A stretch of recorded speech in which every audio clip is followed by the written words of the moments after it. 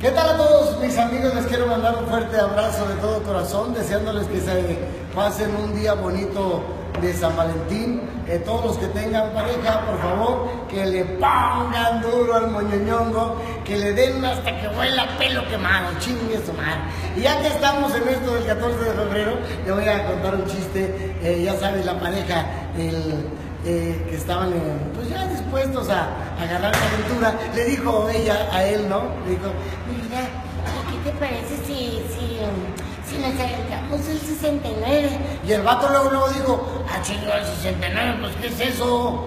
Dijo, mi vida, pues es muy fácil, mira, yo lo he leído y el 69 es que los dos nos encueremos y tú te pongas para allá y yo me ponga para acá y tú como, como y yo como si trajera una Tupsi Pop en la boca. ¿Sí? Dijo el vato, bueno, pues igual no, no le veo nada de, de problema, ¿no? Se encueraron los dos, se pusieron a hacer el asunto, ya saben, el chingón. Y el vato dijo, ay, esto del 69 me está costando, esto del 69 me está costando. Y empezaron. Y la chava, pues ya sabes, haciendo los... Hasta el pinche paso de la muerte hacía... Y el otro vato, pues ya sabes que los hombres nunca quedamos mal. El otro vato prendidote. Pero estaba haciendo tan chingón su trabajo el vato que la vieja empezó a sentir ñañaras en el no me niegues. Y empezó, ya sabes, a ¡Oh! ¡Oh!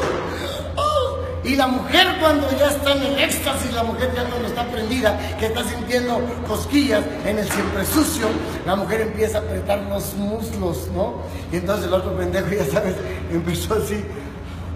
Ah, ah, ah. Pero él seguía haciendo su jale, le valía madre, ¿no?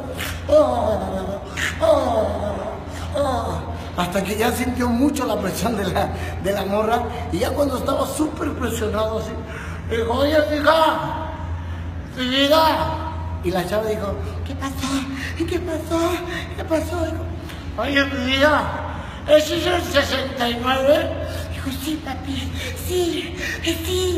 Dijo, ¿no tendrás un 70 porque este me aprieta mucho?